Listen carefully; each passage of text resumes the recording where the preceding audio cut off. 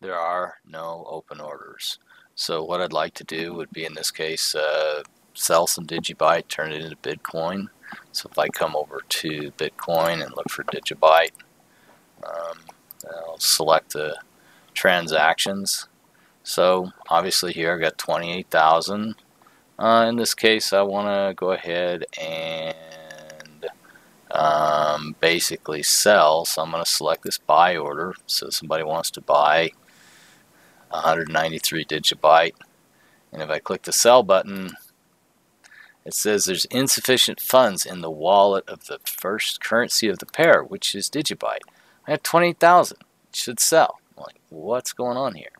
So, you know, if I select this other one here, 367, which would be the sum of those two, same, same message, which is what? So basically I'm stuck. I can't liquidate this.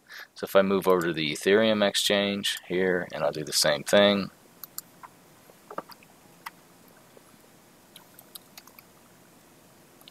Digibyte, select that.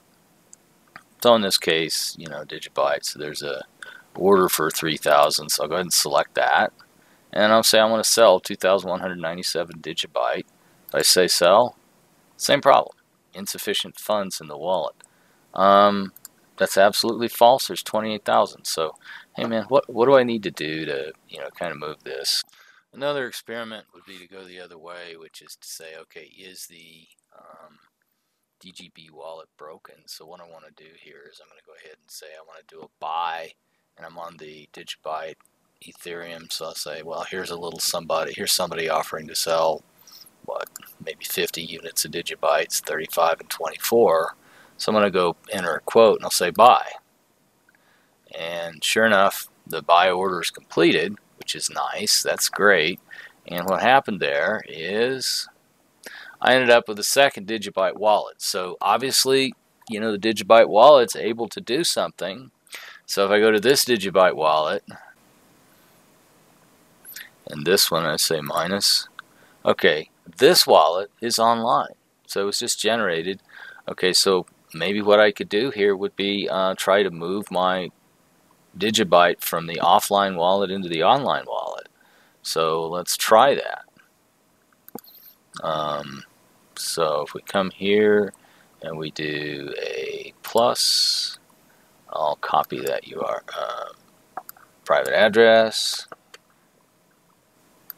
And if I do a minus withdrawal address, paste that in. Let's do a thousand. And we do the wallet withdrawal. Uh, the coin is in maintenance. Please try again later. Well, that's interesting and unfortunate because now I really can't do much. I guess the other thing that I could do would be attempt to, you know, transfer this Digibyte, you know, content offline. So I'm going to go ahead and uh, okay. So here's a withdrawal address. Uh, I'll do however. Let's do max 60 point whatever withdrawal fee, and do the with withdrawal.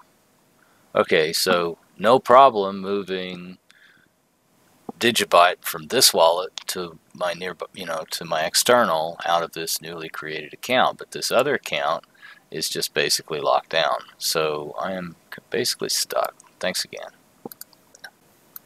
The other thing I'll observe about the, you know, the wallets here is that, like for example, I got some water, some theta, some Yotta, some DGB, and Dice, which are all alts. But if I look at these, each one of these wallets is in maintenance mode, and there's absolutely nothing I can do. So this is a little bit of Theta, a little Yotta, maintenance, Digibyte, maintenance, uh, Ethereum, let's see, Dice, maintenance. So the only wallets that are operable are Bitcoin and Ethereum. So um, anyway, obviously, if the wallet's in maintenance, there's nothing you can do, and there's no specific activity that's offered that enables me to get the wallet or prompt anybody to get a wallet out of maintenance mode. So basically, this whole process renders my Yobit.io account unusable and untrustworthy.